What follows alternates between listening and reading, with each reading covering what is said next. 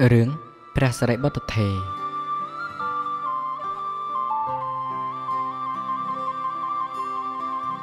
ព្រះបរមសាស្តាទ្រង់បានប្រពនៅព្រះសិរីបុត្រថេរថ្ងៃមួយព្រះអង្គទតប្រណេតឃើញឧបនិស្ស័យរបស់ភិក្ខុ30រូបដែលចាំព្រះវស្សានៅក្នុងព្រៃបាននិមន្តមកថ្វាយបង្គំព្រះអង្គព្រះអង្គបានត្រាស់ហៅព្រះសិរីបុត្រមកសួរថា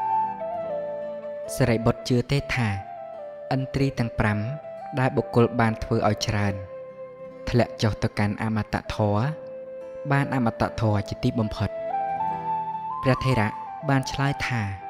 បបិទ្ធព្រះអង្គដ៏ចម្រើន ក្នុងរឿងនេះខ្ញុំព្រះករុណា មិនត្រូវជឿព្រះដ៏មានពភាកអ្នកណាបានដឹងហើយ បានពលត្រូវហើយដោយបញ្ញា អ្នកនោះមិនត្រូវជឿអ្នកដតីទេ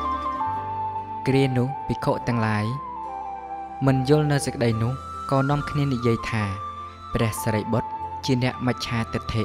មិនជឿព្រះសាស្តាព្រះសាស្តាទ្រង់អធិប្បាយថាតថាគតសួរថា អ្នកដែលមិនចម្រើនឥន្ទ្រី ហើយអាចធ្វើឲ្យជាក់ច្បាស់នៅមគ្គផលបាន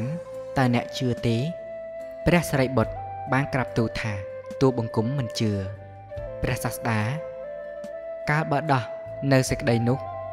ទ្រង់ត្រាស់នៅប្រគាថានេះថាអសត្តោអកតញ្ញូចសន្ធិឆេតោចយោនេរោហតាវកាសោវន្តាសោសវេឧតមៈបោរិសោនរៈជនណាមិនជឿអ្នកដតីផង ស្គាល់ព្រះនិព្វានផង កាត់នៅគ្រឿងត គឺវត្តដាក់ផង មានឱកាសកំចាត់បងហើយផង មានសេចក្តីប្រាថ្នាខ្ជាក់ចោលហើយផង